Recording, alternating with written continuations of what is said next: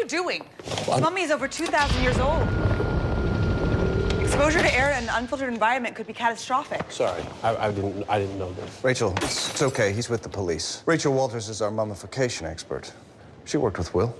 Did something happen to him? Um, he was killed earlier tonight. Th that's not possible. Were the two of you close? Only professionally.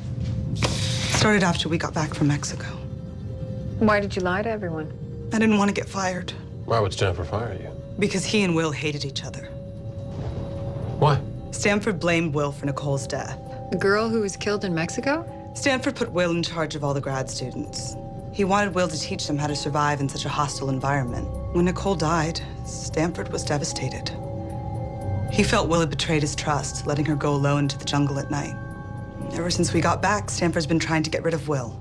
But he can't, because Will's the one who discovered the burial chamber. Do you think he would have gone as far as murder to get rid of Will? Stanford told me that Will is the one that should have died that night, not Nicole. What's going on? Four words eat, pray, love, kill.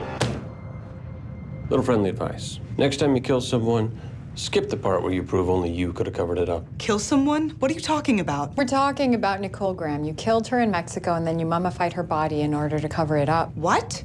No, Nicole was killed in a Jaguar attack. Except they never found her body. But we did. And so did Medina when he discovered the discrepancy in the carbon dating. And that's when you knew that you had to kill him. That's insane. What happened, Rachel? Did you find her in the jungle making time with your man? Little girls gone wild jealousy turned deadly.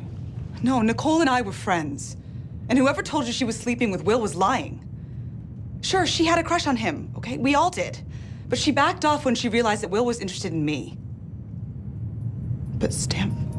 Stanford. Stanford was the one who was jealous. Ask any of the women down there. He had a thing for Nicole ever since she joined the program. You'd always see him standing around watching her. It was creepy. You were the expert, Rachel.